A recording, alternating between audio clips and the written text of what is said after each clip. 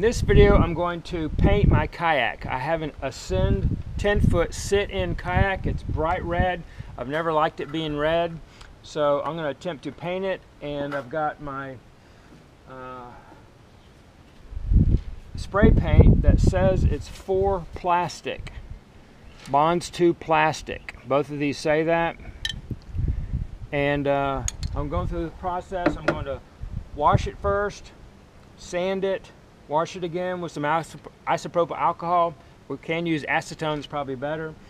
And uh, then I'm going to spray paint it and we'll see how it turns out. Hopefully uh, I'll have a camouflage looking kayak that I can um, hunt in, fish in, and not be so bright red. First step is to wash it.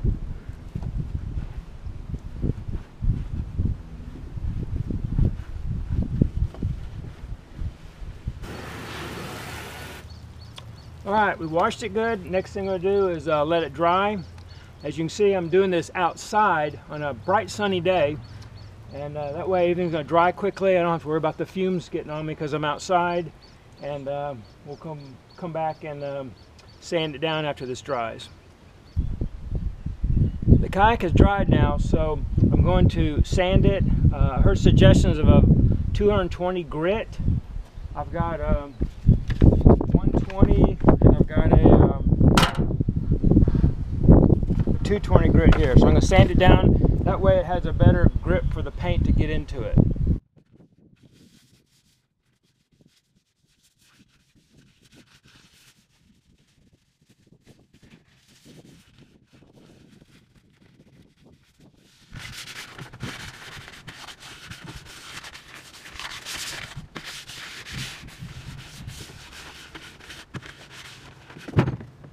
Now that I've sanded it all over inside and out with a uh, fine sandpaper, I'm going to rinse it off, wash it one more time, and then do a coating of uh, uh, isopropyl alcohol or acetone to get all the little grit and all the little bits of dirt completely off before I start painting it.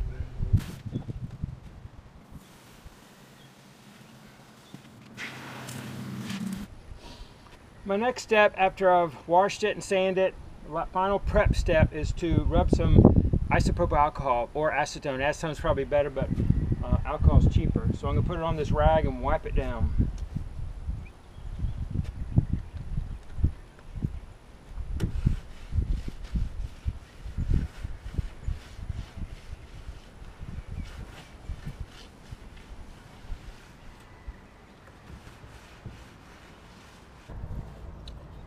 All the prep steps are done. I've washed it, sandpapered it, washed it again, and then just rubbed it down good with isopropyl alcohol. One final step for prep work is to get rid of any decals and tape up anything you don't want paint on. So that's what I'm going to do right now. All the prep work is finally done and I'm going to start painting now.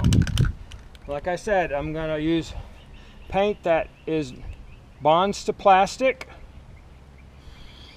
and uh, in this case, this is like a, a tan light brown. I'm gonna put that on first and then I'll touch it up with a, a dark green color for the camouflage pattern. And uh, hopefully these two cans are enough to cover all of it.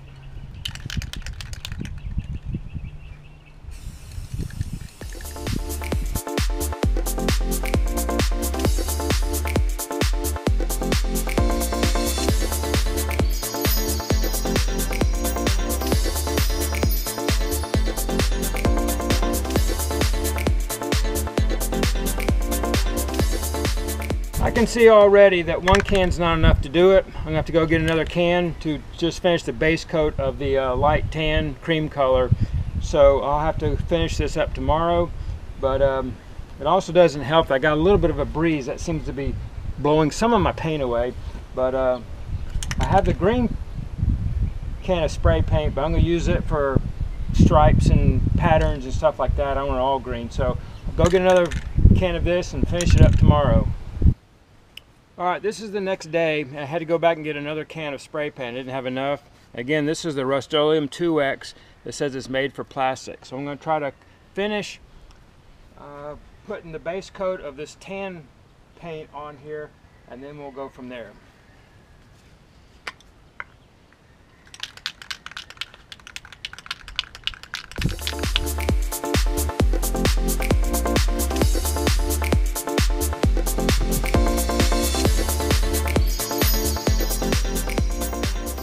After two cans of this, it still wasn't enough to cover it. I didn't put it on the very bottom, but uh, maybe I can make up for it with the, um, the green paint. So you probably need at least two, three, maybe even four cans to finish off spray painting your kayak, depending on how big it is, of course, and how thick you want to put it on. Now that I have the base coat of tan paint all over most of it, I'm going to use the green. And again, this is the, the Rust-Oleum 2X that is um, made for plastic. And I'm going to use different uh, kinds of or just leaves and stuff just to get a camo pattern on it. Spray around it. And I'll do that. And I may do it more so where there's areas where maybe my paint not is quite as thick and just kind of spread it out. So we'll start that and uh, to get a camouflage pattern on it.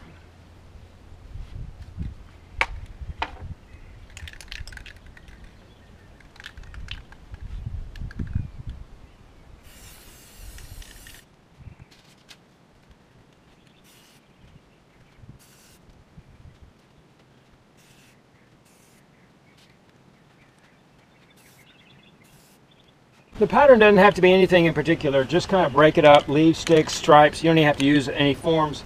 Just put, uh, you, can, you can do just you know stripes here and there, little blobs. But uh, I'm using single leaves and branches probably the most.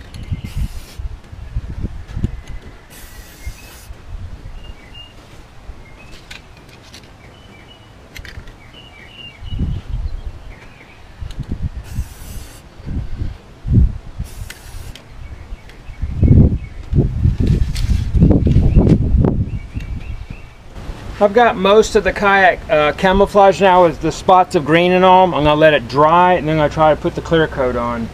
So I don't have it on the very bottom. That probably gets scraped off anyway on the rocks. And I don't have that much paint, but everything else is pretty much camouflaged here. And uh, I didn't paint the inside either. I don't have, they take too much paint and nobody's gonna look in there anyway. So bulk of it's done and I let it dry then we're going to uh, put the clear coat on. One of the last steps is to apply a clear coat.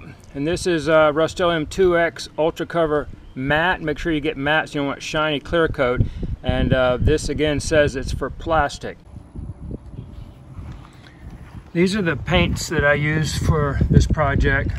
Rust-Oleum was the uh, product name 2X and they had both said they are for plastic. Got two tan colors, a green color, and then the uh, clear coat.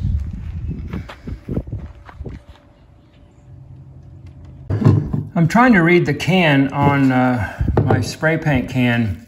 It's very small letters, it's really hard to read. But it said on when you're painting plastic that major adhesion uh, takes place after five to seven days. So definitely after you, this is painted, to let it just sit out in the sun and dry for you know, at least a week. I was a little concerned because a couple times it, I was turning the kayak, it would scrape against the table and there'd be a scratch like it's not adhering. But um, I haven't put the clear coat on or or um, given it the one week to cure out. So we'll see how it is after that. This is the finished product. I gave this um, over a week to dry and cure out. Uh, and I'm not really happy with the results. Looks like you got some uh, scratching right here that comes off way too easily.